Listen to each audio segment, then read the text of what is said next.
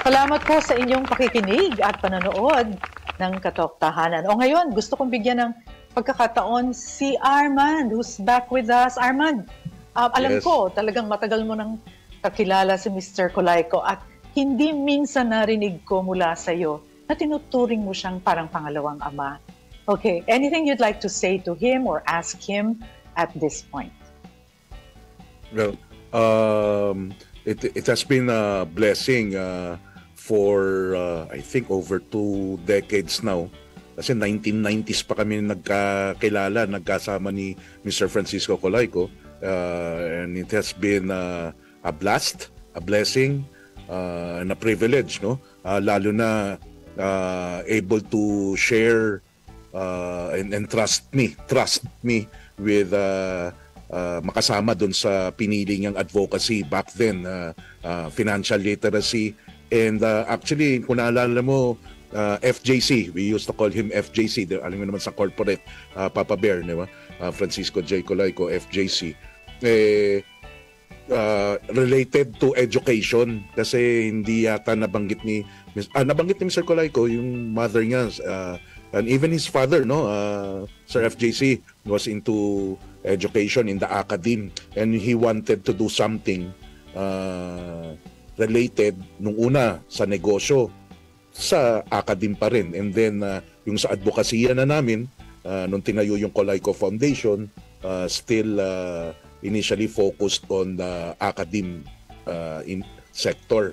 Uh, meron pa kaming special situation financing noon, Mr. Colayco, naalala mo, sa Colayco Foundation. Um, yeah. Parang yung mga aming uh, scholars, quote and quote, pero sa ibang uh, pamamaraan. Uh, ang isang laging pinapaalala ni Mr. Colayco noon, aside dun sa, mabigat yon Ma'am Chichi, Papa Bear, Father Migs, yung laging niyang uh, uh, sinasabi na critical thinking, asking the why. Hindi lang basta makulit o pasaway, kaya tanong ng tanong, hindi sumusunod, pero yung understanding the why uh, of, of of everything, of things. Yung inutos, yung kailangan na target, uh, kung tungkol sa negosyo, uh, or simply uh, sa buhay uh, the the big why and then yung uh, laging pag uh, uh, umpisa ng bago naalala mo FJC uh, yung mga uh, na-assign daw sa kanya mga trabaho uh, laging uh, being the first or trying to be the first to do things eh dito sa negosyo dito sa buhay dahil sa pandemya. Yan, na, yan ang lagi natin na pagtatanto, Ma'am Chichi, eh, di ba? Sa iba't ibang guest natin dito, kung paano sila nag-innovate, paano nag-pivot, yan yung mga big words ngayon, eh, di ba? Papa Bear. Pero yun lang, starting something new, uh, hanggang doon sa unang nga sinabi ni Mr. Colayco, Mr. Colayco, uh, three days into his new adventure uh, in life. Uh, ako lang, FJC, uh, yung naiisip ko rin kasi lagi ko nakakwento ko ni Sir Colayco, may 92-year-old mother. Miskin na dito sa programa, nababanggit ko lagi yung 92-year-old uh, mother ko kasama ni Mr. Colayco. Hindi pa naman ganoon ang edad. Sa kanya ko na rinig yung uh, uh, parang stages daw ng uh, pagiging matanda o may edad. Self-sufficiency, uh, may kinalaman siguro dyan yung pera, yung, pag, yung able to move, uh, hanggang ngayon kaya nga pa at 92 years old. Pero meron na ring interdependence. Uh, kinare, miski na kaya niyang umakyat panaog, kailangan dependent siya dun sa uh, nadadagdagan ng confidence at security niya na merong nakatayo doon. Nakatayo ako ron na kung sakaling pababa ng hagdanan, hindi siya nagpapahawak sa akin, pero may interdependence pa rin. Gusto niya nando, nakikita niya ako para kung sakaling may kailangan sumalo. And then, uh, yung complete dependence na sa pamilya. May 92-year-old mother, miski na si Mr. Colayco, hindi ka pa nandun, Mr. Colayco, eh, no? Yung de- very dependent on someone, a family member, a caregiver, to do the basic activities in life, eating, toileting, mobility, wala, malayo pa si Mr. Colayco. And then, yung crisis management, kung sakaling magka hospital daw. Hinanda na yun ng mother ko eh, Ma'am Chichi. Yung kinari, sinong tatawagan, emergency, na paano papapuntahin yung uh, inumpisahan din ni Mr. Kulayko yung uh, lifeline arrows, ito tatawagan, ito ang handa na sa lahat. Uh, maging yung apo ko siguro makakita nung listahan ng pag-crisis management, maintindihan eh. Uh, people to call, people to ganito. And of course, yung uh, end of life na laging uh, sinasabi ng mother ko, 92 years old. Araw-araw daw iniisip ngayon.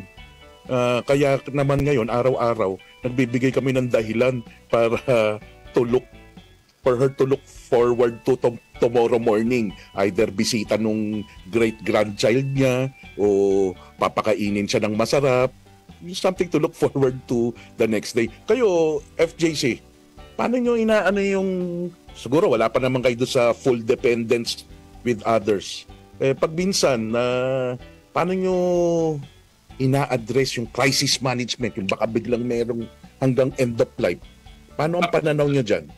Actually, ngayon, parang kami ang nagiging go-to ng mga kamag-anak for crisis eh. for crisis. Uh, in terms of, kaya recently, merong emergency, manaw. Nobody knew what to do. But uh, kami pinupunta. My wife is an expert dyan. Alam namin. So, ilang beses na yung aming life plan, pinapahiram namin, pinapagamit namin. Because you know, when, when you hit that point, when it's an emergency, the family is at a loss. Pati yung arrangement sa, sa, sa, sa last rites, wala na, taranta na lahat. So, hopefully, the children are seeing it, they will be the expert pag kami naman mga, mga ilangat. So, I'm not too worried so much on those preparations my main concern really is still keeping up your health and an active mind. An active mind is very important. You still have to do something. You have to have a purpose. You have to have an objective. Ano, ano dapat mangyari the next few months or today. Ganun. Importante yun eh. Tayo, I'm happy we have a co-op. We're able to serve. Very fulfilling yun. And people don't people know that we're not making money out of it. It's it's really a purpose uh, to share, share our know-how and opportunity. Hopefully, create opportunities. So, ang bottom line ngayon sa akin at this age is, as far as the material aspects are concerned, wala na, hindi ko na iniisip yun. Hindi mo na ko, I don't intend to, to have billions waiting for, wala sa akin yun eh as long as we live our our chosen lifestyle, that's it. My children know if there's something left, meron sa kanila. There's nothing left because we will spend it for medication. Wala. We've given them the capability to live on their own. So wow. if something is there for them, fine. If wala. As long as the chosen lifestyle is there. What is rich anyway, di ba?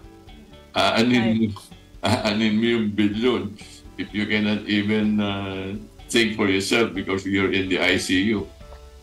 Useless. And so I will, I, I will just say something about that. In this uh, last month of, last two months of uh, in this world, my best friend Jesuit was having dinner with us in my home and he already had, he was already very sick. He stopped our, our, you know, bantering, nag-enjoy kami, midnight na, masaya. Sabi niya, guys, do you know your prophecy? Nagulat kami lahat because we were high school classmates, grade school na talagang patawanan lang patawanan. All of a sudden, he asks the question, Guys, do you know your prophecy? Nagtingin lang kami. What do you mean? Prophecy. Sabi niya, I will not define it. All I'm just saying is, yung sa pinagsamahan natin, tinuro sa atin, in the back of your mind, you will always be asking that question. Why am I here? What am I doing? In all times, you may have, in many, in many, many years, you will have different answers. But there will come a time when you know the answer. I cannot tell you when that is. I cannot tell you what that but you will know. Ayun. I ask myself, and I think I. At yun- Importante yun because that defines your purpose in life.